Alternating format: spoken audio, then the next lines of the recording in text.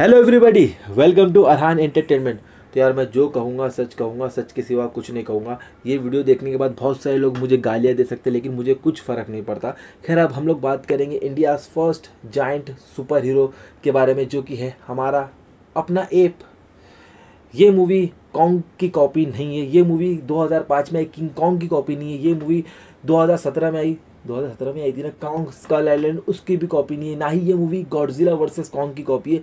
ये एक original idea है जो कि तमिल इंडस्ट्री की तरफ़ से हमें देखने को मिलेगा, क्योंकि इसका जो कॉन्सेप्ट है, वो कहीं ना कहीं रामायण पर बेस्ड है और दूसरी बात, ये जो ऐप है, ये ऑफिशियली हमारी इंडिया का ऐप है, क्योंकि अगर आप लोग कॉन्ग को देखोगे तो उसकी इतनी बड़ी टेल नहीं है, लेकिन ये हमारे जो इंडिया का ऐप है, इसकी इतनी बड़ी टेल है।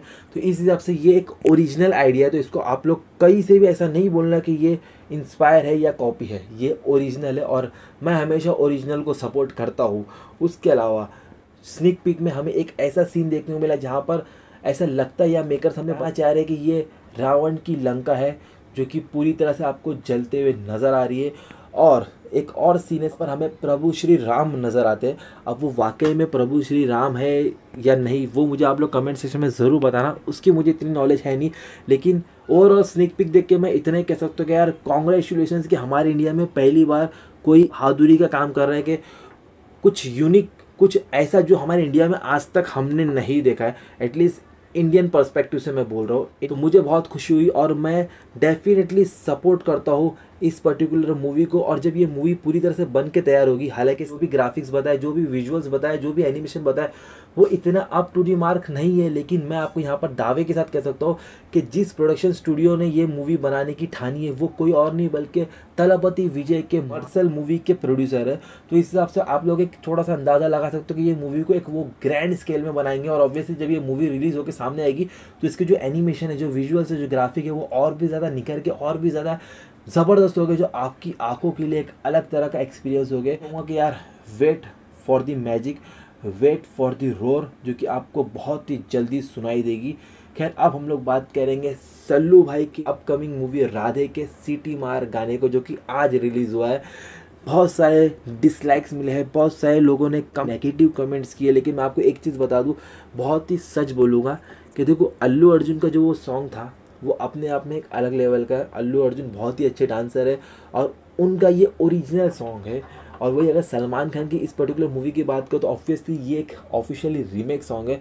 सॉन्ग में उन्होंने लिरिक्स में पूरी तरह से बजा डाली है। और अगर सिंगर की बात करो तो यार कमाल खान तो अपने घर का ही बच्चा है। आज की तारीख में जब भी सलमान खान अपनी कोई भी मूवीज़ बनाते हैं तो वो अपने घर के बच्चों को सबसे पहले लेते हैं। जैसे कि कैटरीना कैफ, कमाल खान, लूलिया वंटूर सोहेल खान ये जो इनके घर के जो बच्चे हैं, ये सबसे पहला काम में तो इससे फ़ायदा ये होता है कि पहले तो ये लोग डिस्काउंट में काम कर लेते दूसरी बात ये कि दूसरा तो कोई इनको लेता है नहीं। तो एटलीस्ट अपने ही भाई की फ़िल्म में वो लोग सब आ भी जाते हैं, उनको थोड़ा बहुत पैसा भी मिल जाता है और अपने आप उन लोग का प्रमोशन भी हो जाता है।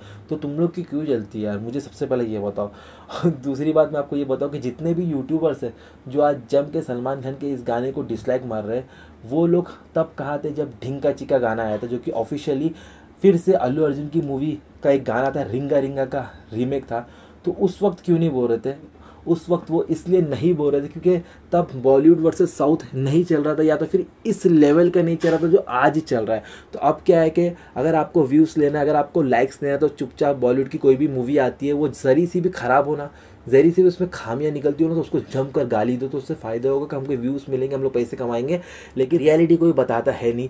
और दूसरी बात यह है कि ये जो लोग सलमान खान को क्रिटिसाइज़ कर रहे हैं, वही लोग हैं जो सबसे पहले उसके मूवीज़ को प्रमोट करते हैं। और यकीन मानो, ये जितने भी बड़े यूट्यूबर्स हैं, मैं यहाँ पर नाम नहीं लूँगा ना उनकी इमेज बताऊँगा, ये लोग को अच्छा खासा पैसा मिलता है और ये लोग प्रमोट करते हैं। ये सब आप लोगों को बेवकूफ़ बना रहे आपका काट रहे हैं, ऐसा कुछ भी नहीं है। और अब मैं आपको एक अच्छी जेनुअन बात बताता हूँ, अगर आप लोग यहाँ तक हो तो। सबसे पहले आप लोग कमेंट सेक्शन में मुझे बताना कि कितने अल्लू अर्जुन के फैंस इस वीडियो को देख रहे हैं। और दूसरा क्वेश्चन ये है कि कितने लोग ऐसे जिन्होंने अल्लू अर्जुन का सिटी मार ओरिजिनल सॉन्ग सुना है। आप लोग ये कमेंट सेक्शन में ज़रूर बताना दिल से। और बाकी जितनी भी ऑडियंस है, जो सलमान खान की रियल फैंस है, या उन्होंने अल्लू अर्जुन के वो पर्टिकुलर सॉन्ग को नहीं चेकआउट किया तो वो लोग मुझे ऑनेस्टली बताना कि आपको सिटी मार गाना कैसा लगा। डेफिनेटली आपको 90 परसेंट मैं कह सकता हूँ कि सिटी मार सॉन्ग आपको बहुत अच्छा लगा होगा क्योंकि उसकी म्यूज़िक बहुत अच्छी है। लिरिक्स आजकल के जितने भी सॉन्ग्स हैं, आपको 80 परसेंट सॉन्ग्स में, हिंदी सॉन्ग्स में लिरिक्स एकदम ना के बराबर मिलेगी एकदम वाहियात लिरिक्स है तो लिरिक्स की तो आप बात ही मत करो। और तीसरी बात कि सलमान खान, देखो सलमान खान के हर एक मूवी में जो डांस परफॉर्मेंस होते हैं, वो इसी तरह के होते हैं। ऐसा लगता है गणपति के विसर्जन में कोई डांस कर रहा है।